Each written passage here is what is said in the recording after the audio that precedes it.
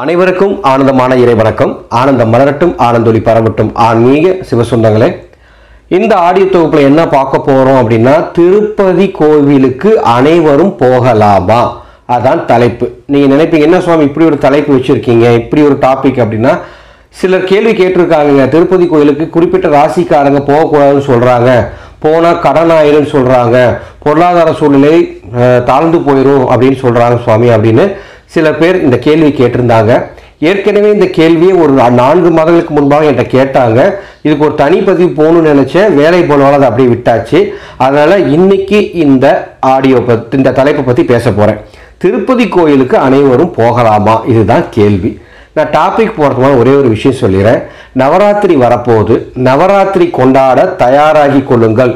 நீங்கள் எப்பேற்பட்ட பிரச்சனையில் இருந்தாலும் இந்த நவராத்திரி பூஜை இந்த பத்து நாள் பூஜையும் சிறப்பாக செஞ்சீங்கன்னா ஒம்பது நாள் விரதம் பத்தாவது நாள் நிறைவு பூஜை.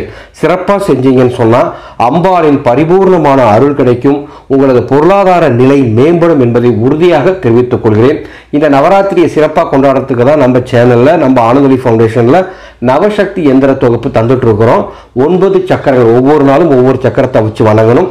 பத்தாவது நாள் ஒன்பது சக்கரத்தையும் வச்சு வணங்கணும் அது எப்படி வணங்குங்கிற முறையெல்லாம் அடுத்த தாடியோட வரும். நவராத்திரிக்கு கலசம் எப்படி வைக்கிறது அடுத்த தாடியில் சொல்கிறேன் நவராத்திரி சக்கரம் வேணும்னா வாட்ஸ்அப் மூலமாக தொடர்பு கொண்டு வாங்கிக்கோங்க. வாட்ஸ்அப் நம்பர் தொண்ணூத்தொம்பது நாற்பத்தி ரெண்டு ஒம்பது இருபத்தி ரெண்டு நானூறு அல்லது ஆனந்தவழி டாட் காம் அப்படிங்கிற ஆன்லைன் சைட்டில் கூட வாங்கிக்கலாம். வேறு எந்த பொருள் ஆன்மீக பொருள் தேவைனாலும் எங்கள்கிட்ட நீங்கள் முறையாக பூஜையில் வச்சு சாபனைக்கு வாங்கிக்கலாம். டாபிக் போயிடலாம். திருப்பதி கோயிலுக்கு அனைவரும் போகலாமா? இதான் கேள்வி. கோவிலுக்கு ஏன் போகணும்? கோயிலுக்கு எதற்காக போகணும்? இறைவனை தரிசிப்பதற்காக. ஆழமாக புரிஞ்சுக்கணும். இறைவனை எதற்காக தரிசிக்க வேண்டும்? இறைவனை தரிசனம் செய்தால் நம்முடைய ஆத்மா நிம்மதி அடையும். நம்ம ஆத்மாவுக்கு ஒரு தெளிவு பிறக்கும். மன நிம்மதி ஏற்படும். அதற்காக இறைவனை தரிசனம் செய்வோம்.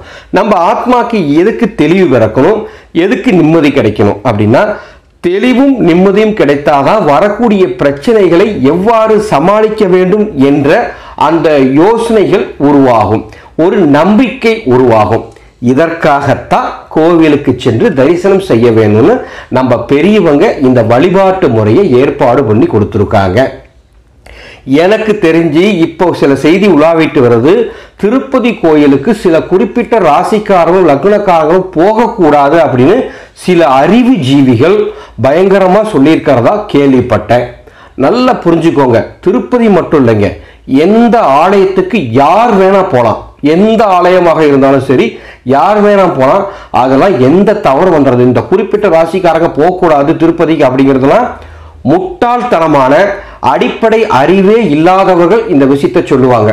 கண்டிப்பாக சொல்கிறேங்க இறைவனை தரிசிப்பதற்கு அது திருக்கோயிலுக்கு போகிறதுக்கு இந்த ராசிக்காரங்க போகக்கூடாது இந்த லக்னக்காரங்க போகக்கூடாதுன்னு சொல்றதெல்லாம் அபத்தமான ஒரு செயல் அபத்தமான ஒரு கருத்து. சரிங்களா?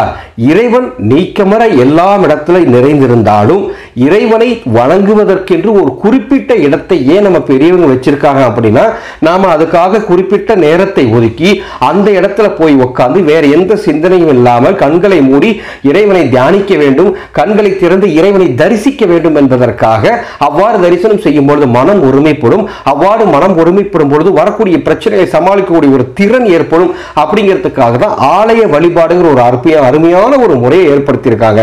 அந்த ஆலய வழிபாட்டிலையும் இந்த ராசிக்காரங்க போகக்கூடாது இந்த லக்கணக்காரங்க போகக்கூடாதுன்னு சொல்றதெல்லாம் ஏற்புடையான ஏற்புடையதான கருத்து அல்ல. திருப்பதி பெருமாளானவர் திருப்பதி வெங்கடேச பெருமாளானவர் அனைவருக்கும் பொதுவானவர். எல்லாரும் போய் சாமி தரிசனம் பண்ணுங்க. எந்த விதமான தவறும் வராது. சரிங்களா? நீங்க எந்த விதமான ராசிக்காரர்களாக இருந்தாலும் எந்த நட்சத்திரக்காரர்களாக இருந்தாலும் எந்த லக்னக்காரர்களாக இருந்தாலும் திருப்பதி கோயிலுக்கு மட்டும் இல்லை எந்த ஆலயங்களுக்கும் சென்று நீங்கள் வழிபாடு செய்வது ரொம்ப ரொம்ப சிறப்பானதாக இருக்கும். கோயிலுக்கு போயிட்டு வந்தால் எனக்கு கெட்டது நடக்கும் அப்படிங்கிறது என்னால் ஜீரணிக்க முடியாத ஒரு கருத்து. எனவே இந்த மாதிரி ஆளுங்க சொல்கிற இந்த மாதிரி கருத்துக்களை தயவு செஞ்சு காதலை வாங்கிக்காதீங்க. என்ன காரணத்துக்காகவும் சொல்லிட்டு உளறிட்டு போடக்கூடிய இந்த மாதிரி கருத்துக்களை யாரும் தயவு செய்து காதில் வாங்கிக்க வேணாம் வாய்ப்பு கிடைக்கும் போது திருப்பதி மட்டும் இல்லை எந்த ஆலயத்துக்கு வேணால் யார் வேணா போகலாம். முறையாக போய் தரிசனம் பண்ணுங்க. அதாவது ஒவ்வொரு கோயிலுக்கும் சிறப்பான நாட்கள் இருக்குது அதை பார்த்து போங்க. அவ்வாறு போகும்போது சிறப்பான சக்திகள் கிடைக்கும். சிறப்பான பலன்கள் கிடைக்கும். வேற எந்த வதந்திகளையும் நம்ப வேண்டாம் என்பதை இந்த ஆடியோ வாயிலாக நான் தெரிவித்துக் கொள்கிறேன். இது போன்று வேறு எந்த சந்தேகம் இருந்தாலும் கேளுங்க. என்னுடைய பார்வையை கண்டிப்பாக நம்ம சேனல்ல உங்களுக்கு நான் தெரிவிக்கிறேன். மீண்டும் அடுத்த ஒரு ஆன்மீகத்தோட சந்திக்கிறேன். ஆனந்த மலரட்டும். ஆனந்தொலி பரவட்டும்.